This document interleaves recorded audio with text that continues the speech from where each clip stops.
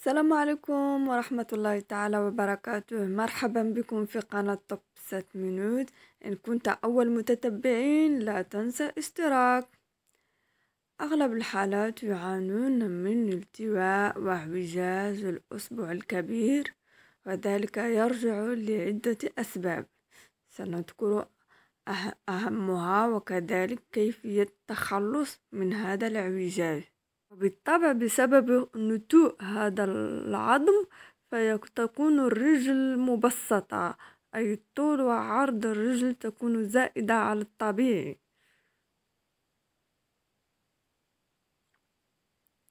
فمن الطبيعي أن يكون هناك التهاب وألم حاد في المفاصل وإعوجاجها يسبب في صعوبة لبس الأحذية المناسبة كذلك دوال الساقين والثقل في الرجلين وانتفاخ. وبسبب الرجل المبسطة يكون هناك ألم في الركبة وعدم التوازن في الحوض. فهناك عدة وسائل للتخلص منها. فهناك خمسة أشكال اعوجاج الأصابع بسبب الحذاء الغير مناسب والكعب العالي. هناك الأصبع الكبير تحت الأصبع الثاني فهو من أسوأ الحالات. كذلك هناك الأصبع الأوسط يكون متني أو الأصابع كلها لديها بروز جلد الميت أو تشقق القدمين فأغلبية تكون من ألم في الأصابع الوسطى. إذا سنتطرق إلى حلول لهذه المشاكل. أولا يجب ارتداء حذاء مناسب يساعد على تقويم الأصبع الكبير تجنب الكعب العالي. اختيار تقويم طبي من السيليكون الجيد لإعادة تقويم الأصابع واستقامية مشط القدم وحذاء مناسب ممكن ارتداؤه آه، في الخروج. كذلك جوارب أعيد على استقامية الأصابع وأفضل هذا النوع لأنه من النوع الجيد وأنصح به بشدة. كذلك هذا التقويم إنه رائع يساعد على المشي ولكن لا يمكن ارتداؤه مع الحذاء إنه فقط لاستعمال المنزلي وبعد النوم. ممكن أن تمشي بها في, في المنزل أما هذا النوع فلا أنصح به. لقد استعمل عدة مرضى ولكن سببه يمكن أن يسبب فقط التهاب بسيط بين الأصابع لأنه يتكون من بلاستيك. إنه يساعد في استعادة تقويم الأصبع لكن لا يمكن المشي به كذلك لا يمكن ارتداؤه. مع الحذاء ولا للخروج فقط هو الاستعمال الليلي ولكن ممكن آه، استغناء عنه. فأنصح ببعض التقنيات الجديدة والحديثة التي لا تسبب أي ألم ولكن تستعيد تقويم الأصبع فقط تفادوا الكعب العالي وللتفادي الالتهاب هناك هذا الجورب الصغير فهو يساعد على آه، تفرقة بين الأصبع الكبير هذا كذلك السيليكون وكان هناك تقويم آخر فهو جيد. فهذا هو الأفضل أن يكون السيليكون بين الأصابع من نوع الصلب والجيد. فأنصح بهذا النوع بشدة.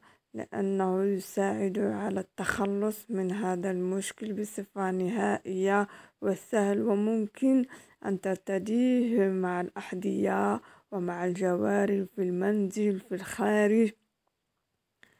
فهو رائع جدا.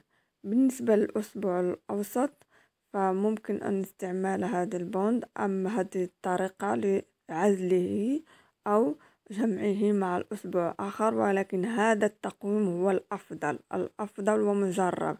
كذلك هناك فرص طبية وصحية تساعد على التخلص من الرجل المبسطة طريقة الترويض الطبي أو التبويض الرياضي بالنسبة للرياضيين بسبب الحركات والإجهاد. فهناك بوند أو شريط طبي خاص. وهذه هي طريقة استعماله. نقوم ببداية من أصبع الكبير نحو القدم. فهو يساعد فقط للتخلص من التعب والألم. نضيف آه، شريط آخر.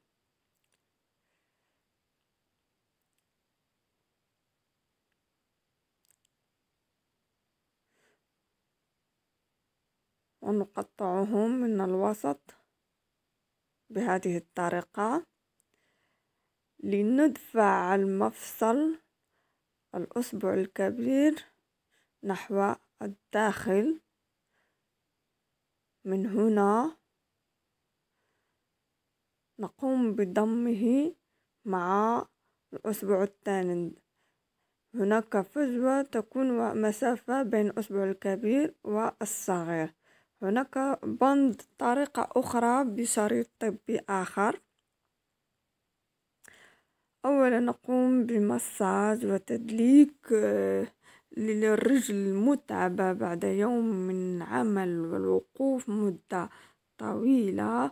فهذه النقطة بالذات نقوم بتدليكها بشكل جيد هناك آلة رائعة للمساج.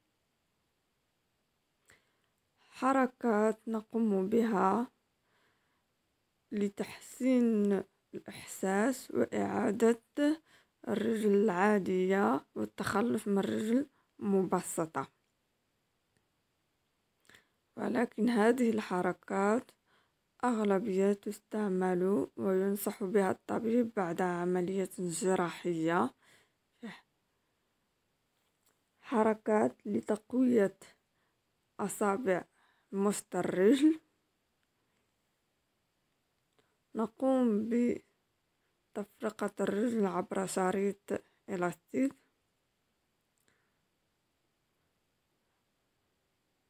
حركات تن وبسط الرجل.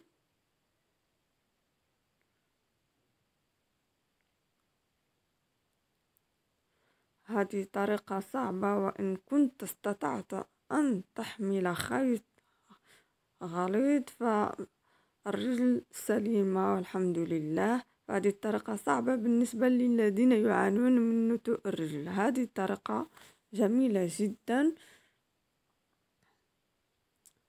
وبسيطة. وفي الأخير بعد التمارين الرياضية نعود إلى التقويم. كل يوم كل يوم. هذا روتين مسائي تستعمله كل يوم لإعادة استقامية الرجل ومسط الأصابع. أو أفضل هذا الجورب خصوصا في فصل الشتاء والخريف. يستحسن تقصير الجلد الميت. والذين يعانون من اعوجاج الأصابع فسببه الضغط على بعض المناطق خصوصا في جانبي الأصبع الكبير وأسفل القدم. فيجب تقصيره عند اختصاصيين حتى تعيد إحساس الدورة الدموية للرجل. بعد ذلك لا تنسى النصائح التي قدمتها فهي فعالة والحمد لله أعطت نتائج مبهرة.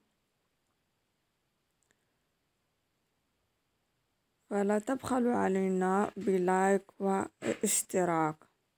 بالنسبة للذين يعانون من جلد الميت يفضل استخدام هذا السيليكون أو جورب خاص للتخلص من الضغط خصوصا في القدمين تحت القدمين أو تحت الأصبع الكبير.